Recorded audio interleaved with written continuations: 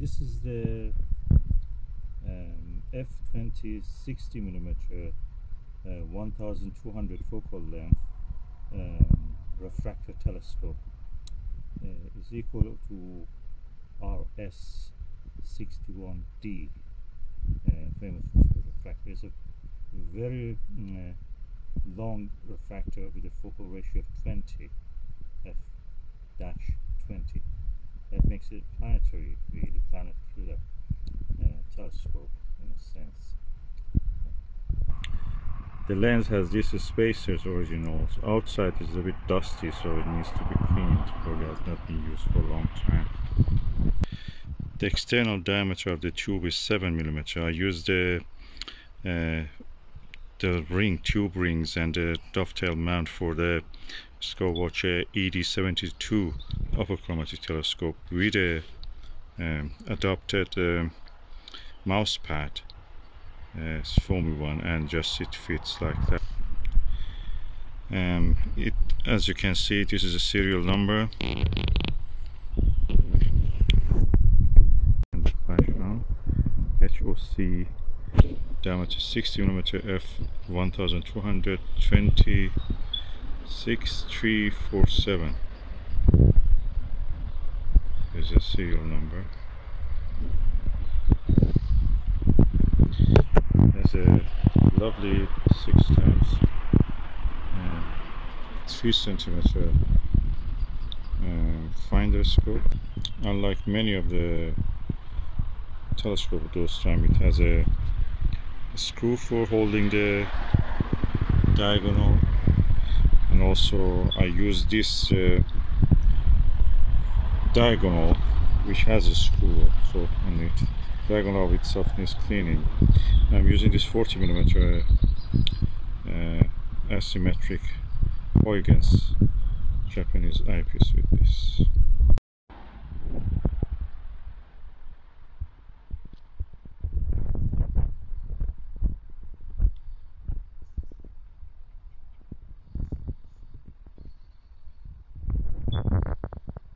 visually there is no chromatic aberration but it just when I'm looking at this I just see very clear image.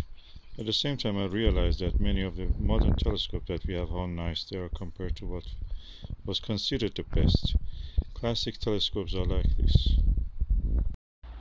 Wow on the Jupiter it shines. You can see the two cloud belts and a little bit more details in the north and south. Uh, it's just tempting to go and bring more opposite this is 15 millimeter so I have to bring another one probably.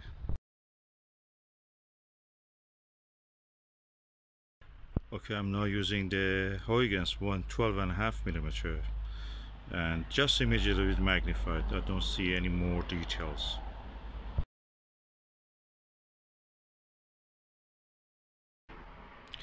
Now I'm using a Bertele 6 millimeter which is equal almost to a Nagler in a way um, but it's a Japanese uh, style? 0.96 inch. Um, the image deteriorates. You don't see any more detail. Two bands that's it. And I can say that the um, optimum in this condition at this time that I'm using with my eye for this refractor is uh, 15 millimeter on the Jupiter is of course chromatic aberration free I didn't see any false color anything. Um, probably this is not a strong point for this. Probably it is better for doing the double star splitting. Um, I'm not sure. Uh, the thing is that classic telescopes are what they are classic. Modern telescopes even the weakest of them are really superior to in many ways to them. And uh, I think that the many hype and many talk about the classic telescope is really good no matter what they are. I believe it's just by the few collectors uh, who are trying to keep up the price of their equipment uh, for resale value. Uh, I don't see any other merit to a modern telescope made in China uh, over something uh, like these classic telescopes they had their time. They were good for a time. Maybe people have good memories of them and uh, childhood memories especially. But now the days are past. We have better equipment